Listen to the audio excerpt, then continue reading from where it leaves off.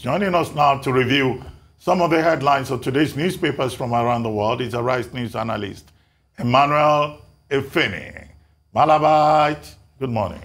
Good morning, Reuben. Good morning, Rufai. Morning, Good morning, sir. Victoria Tundu, MKO Abiola. Good morning. Yes. Well, uh, Elder uh, yes. before you go on, yes. have you noticed something special about Tundu this morning? Oh my goodness, She's uh, proclaiming that Jesus is Lord with the crucifix. All day, every day. Well, she's a she's a devout Christian. Yeah. so let's leave it at that. Yeah. And uh, you can proclaim your religion as long as you don't infringe on another person's freedom of religion. So, Tundu, I'm okay, I'm okay with you on that. now, we'll start the review with ThisDay, Nigeria's newspaper of records. The lead story Southern presidency gathers momentum as Ortom middle belt endorse demand. Lawmakers from South back governors. ACF, we can't dictate to parties. Northern elders rebuff zoning. Yes, the rightly so. The southern governors made their stand yesterday based on what, of course, is a gentleman agreement. It's not written anywhere in the Constitution. We all know that for those referring us back to the Constitution. But if power has been in the north for eight years by 2023, as these elders, northern elders, saying that power will continue to remain in that zone. Yes, we know that no one zone can win the presidential election on its own based on constitutional provision of spread. That is why politicians must also judge in this, um, in this drive to ensure that the next president comes from the South. It is not a matter of force, but I think the northern el elders should not look at it as if there is an impos imposition that is extra constitutional. No. This in itself is an agreement amongst politicians. And if anybody is trying to deny that now, because we recall when some politicians were hounding Ruben, your boss, that you are taking our turn. I don't know which constitution they were talking about. Based on the fact that former President Olusegun Obasanjo has done eight years, Yaradua, Umar Yaradua, came from the north and because he died in office, and of course, the rest story is history, that was why some people were clamoring that no, Jonathan should not go for a second term because he would be denying them their turn. So I think we still need to talk Jojo about this, but I think the direction is, um, is just what it should be. The momentum that the next president should come from the South. I don't think any uh, politician who wants the unity and stability of this country should be arguing with that position. Reuben, Rufai, and Tundu, I want your take on this before we move on to other stories. So, uh, thank you so much, uh, Mr. Fini. My take on this is let us be serious and let us be honest and let us be truthful with ourselves when we have issues like this in the country. Because when we are not truthful, then we walk the path of injustice. And when we walk the path of injustice, we have instability in the land. It is so easy, you know, for any group in the North to say quickly that political parties make these decisions. But the truth is, we have always zoned one way or the other in the spirit of fairness and equity. I'll go back to 79. The two key political parties deliberately, deliberately made their vice presidential candidate come from the East. Philip Umeadi and uh, Alex Ekwueme, former architect of blessed memories. It was a deliberate attempt to be able to placate those demands back in the days and bring forth a sense of inclusion. In fact, the third person on that ballot that didn't have a, a vice presidential candidate from the East was Nnamdi Azikiwe himself, because obviously he was an Igbo man from the East. So we've always had this arrangement. Let us not deceive ourselves. And it was incumbent on this arrangement that a lot of people did say that, okay, the power should go back to the North. It wasn't in the fact that in 2019, people from the South didn't want to vie for the presidency, but a lot of people had this intuition that it's still the North's time. So let them have it. And it goes back to this agreement they had after eight years that the power will come back to the South. I mean, Chief Oshobas talked about this agreement a lot in earnest when we interviewed him here. So when is the time for this? Let us not just change everything because oh, it suits us now. We've always had zoning agreement. Yeah, it's a gentleman's agreement. It's not in the constitution. The parties decide it. But let us be honest with ourselves. Well, earlier on, Efeni, before you joined us, I made the point that it's not everything, excuse me, that is written into the constitution. Certain things develop by way of convention, by way of tradition, uh, by an attempt to deal with emergent realities within the country which was what we had uh, in 1998, uh, 1999, when as a result of the crisis occasioned uh, by the uh, annulment of the June 12, 1993 election and the people's objection to continued military rule, uh, there was that agreement to say, well, this is an aggrieved part of the country. Uh, let us give power to that part of the country. Even if many of those who became beneficiaries were not necessarily involved in the June 12, 1993 uh, uh, process. But what we face many years later is that same old question about the power competition, the competition for power, for space, for resources in Nigeria, whereby, you know, there's this proverbial national cake that everybody wants to take uh, a larger share of the cake. This is a familiar uh, metaphor uh, for present company you know, uh, to the disadvantage of other groups within that, uh, uh, with access uh, to that cake. And our concern should be this. Are we ever going to reach a point in this country where it does not matter where you come from? Where it does not matter whether you are Igbo or Christian or Yoruba well, maybe that day will not come in your generation, in my generation. Yes. But that should be the ideal. Yes. But Nigerian until, leadership at all levels. Until we get there, there should be other ways of ensuring fairness.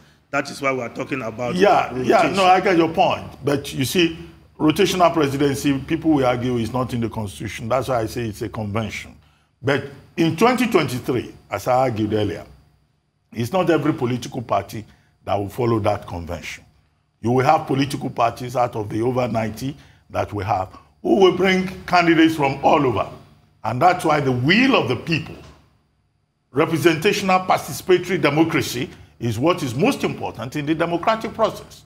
What steps are we taking to ensure that is the will of the people that will prevail? If the Nigerian people can vote in a credible, free, fair election, and they decide that the next president should come from the South South, that will be their choice. They have the right to go to heaven or hell the way they choose to. But the problem we have is that even in terms of the electoral framework, there is no consensus. And hence, the argument that we've been having, uh, the conversation we've been having earlier today about the framework for elections going forward.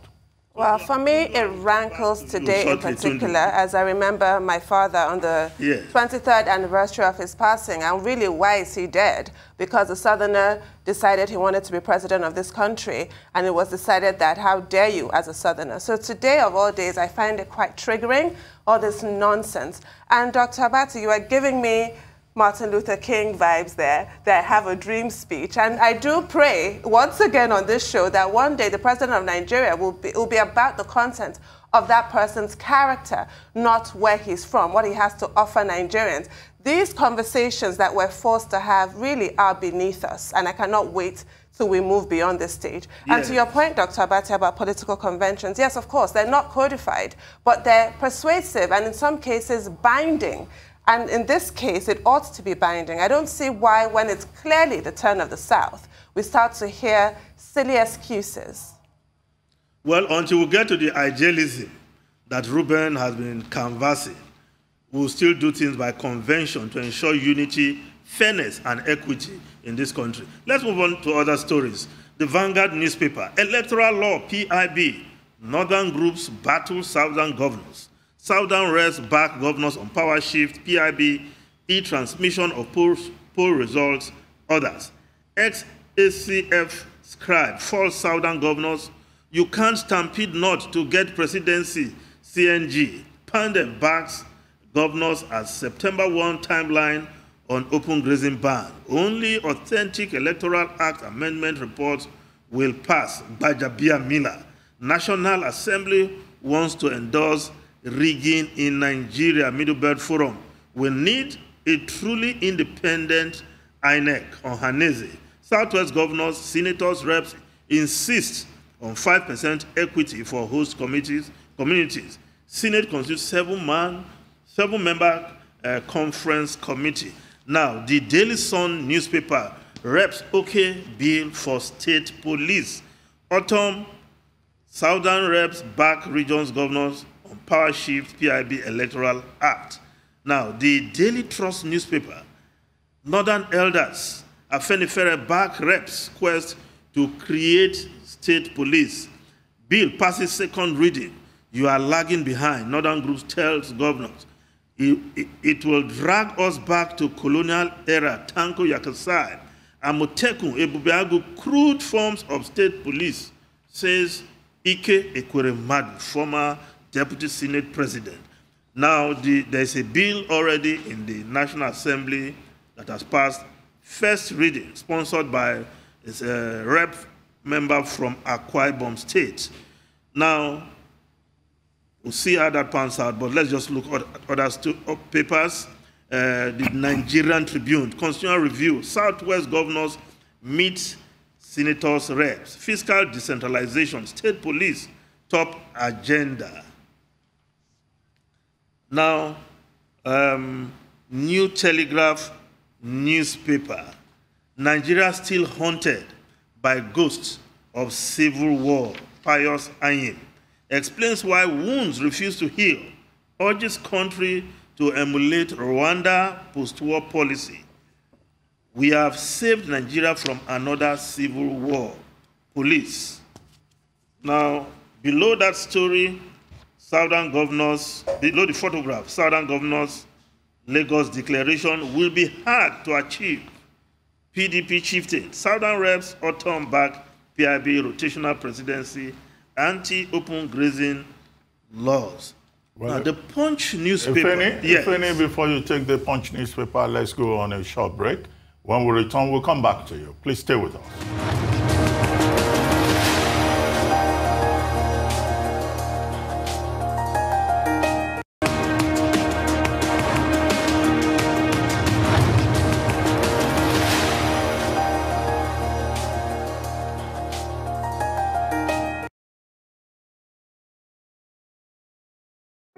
This isn't the first time we've had to show love to complete strangers. It isn't the first time we've had to help people in need. It isn't the first time we've worn uniforms, or the first time we've missed dinner parties or football games. It isn't the first time we've prayed for a miracle, but it may be the first time the world as we know it would change forever.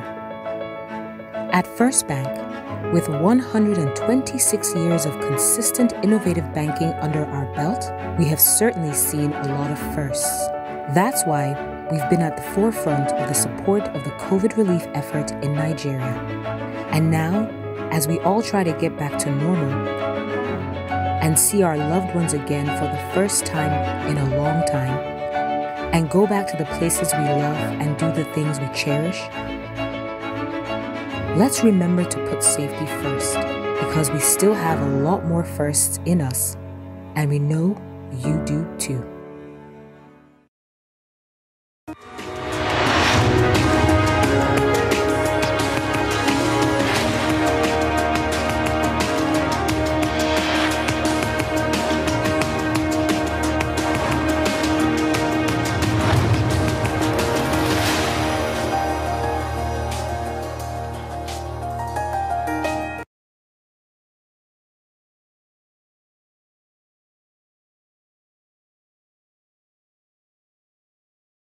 Welcome back to the morning show here on the Arise News channel. Still with us is uh, Arise News analyst Emmanuel Efeni, who has been reviewing newspapers uh, and top stories from newspapers from around the world.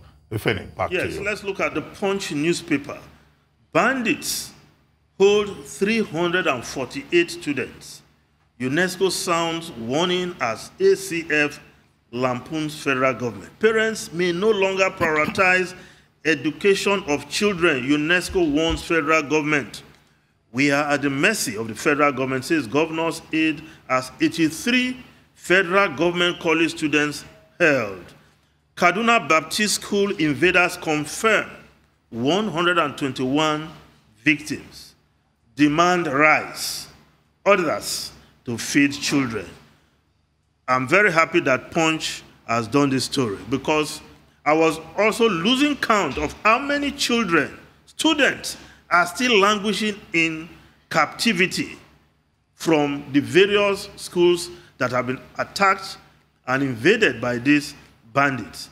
We still remember the children, those little children from Tegina uh, Islamic School in Niger State. Those children are still in captivity, as well as many others. Yet, we are not doing enough. The government, I'm speaking in this case, to get these children out, what will be the fate of parents? Now in Kaduna, 13 schools closed. When those schools were closed, I did not hear of an arrangement for the students of those schools to continue their learning elsewhere. But those schools have been closed. So before long, there will be serious disincentive for parents to send their children to school. And UNESCO is warning whatever happened to the Safe School initiative that was launched since the days of President, former President Goodluck Jonathan. Now, let's look at other stories, other newspapers. Daily Independent newspaper, economic stories. Consumers groan as food prices move up 15% in a month I am surprised if we are not really in a food crisis. Full blown right, full, full blown right now, as you can see in the prices of food items, they are out of reach of the common man. Yes, a report today in another newspaper states that in Plateau State alone, food, that is farm products, Crops worth over 1 billion naira have been destroyed by herders and their cattle. So if there is food uh, scarcity, there's high price, we know who to point out to. If you don't deal with the insecurity, of course, we'll continue to have this kind of problem affecting food supply across Nigerian cities. Now, the foreign newspapers quickly, the Guardian newspaper of UK fears 10 million may face summer isolation as COVID cases surge. Alarm grows over risk of health and economy as restrictions are scrapped. Well, 2 million people could get COVID 19, according to this report, this summer alone, potentially, meaning 10 million isolating in a period of six weeks according to analysis done by the Guardian newspaper of UK. And Sajid Javid, the health secretary, is saying that Britain is entering uncharted territory as in its wholesale scrapping of lockdown rules. And to that, the Daily Mail is saying isolation insanity. Fury as quarantine rules to last until mid-August, threatening holidays and businesses and ruining plans for up to 3.5 uh, million plan every week. Now, for the Daily Mail, they're more concerned with people's holiday being ruined. But the health secretary has said that well, Britain is entering uncharted territory. Efeni, thank yes. you very much. Uh, that's all we'll be able to take. Thank you very much indeed.